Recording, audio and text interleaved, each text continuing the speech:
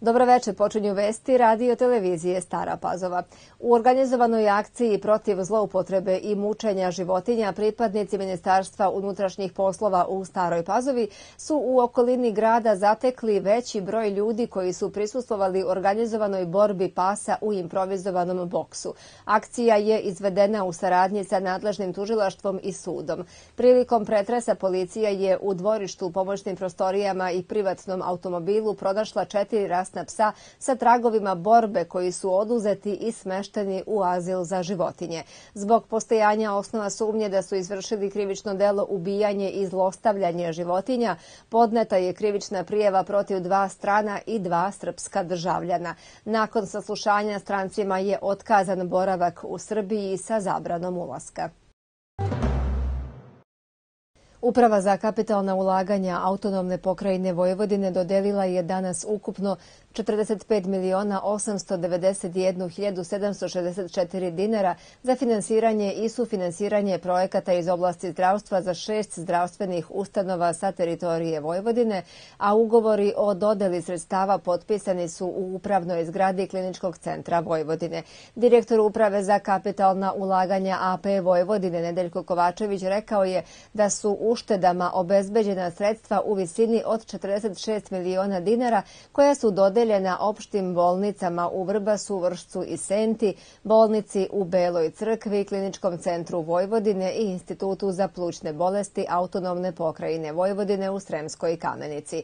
Predsjednik pokrajinske vlade Igor Mirović je rekao da će pokrajinska vlada nastaviti sa aktivnostima na unapređenju uslova u zdravstvu, među kojima su najvažnije izgradnja B i C bloka Kliničkog centra Vojvodine. Upravnik Instituta za plućne bolesti Ilija Andrijašević rekao je da će dobijenim sredstvima između ostalog biti kupljena oprema za lečenje pacijenata koji se leče zračnom terapijom, dok je upravnik kliničkog centra Petar Slankamenac najavio kupovinu jednog aparata za lečenje očnih bolesti i rentgen aparata.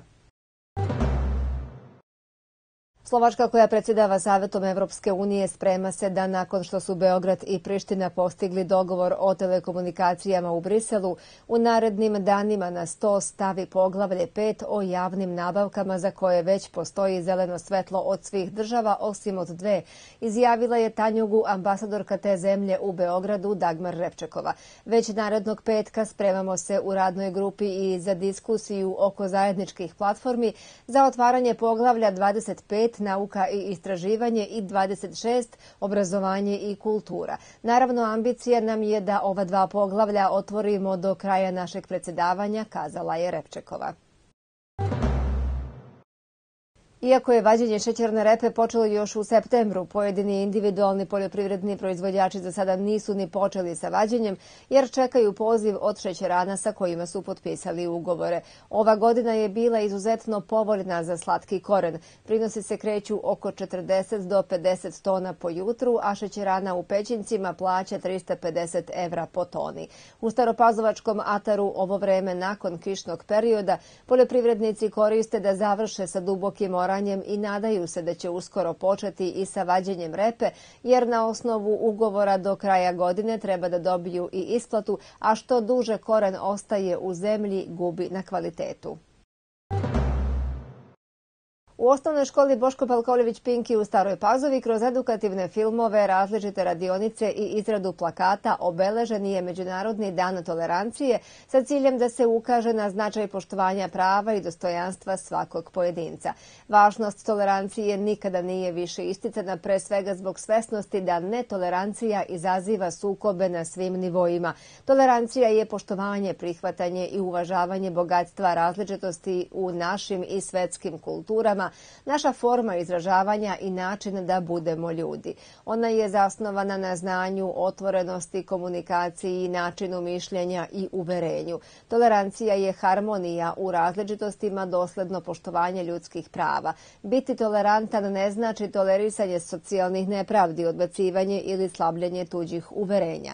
To znači biti slobodan, čvrsto se držati svojih uverenja i prihvatati uverenja drugih različitih. Međunarodni dan Dan tolerancije se obeležava širom sveta i treba da podsjeti na to da svi imaju pravo da žive i da budu to što jesu.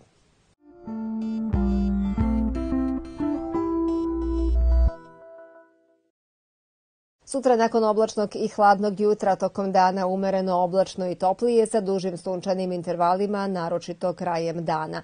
Vetar slab jugo-istočni, minimalna temperatura 5, maksimalna dnevna, sutra 11 stepeni. Poštovani gledalci, toliko za večerašnje izdanje vesti. Hvala na pažnji i prijatno provedite ostatak večeri. Doviđenja.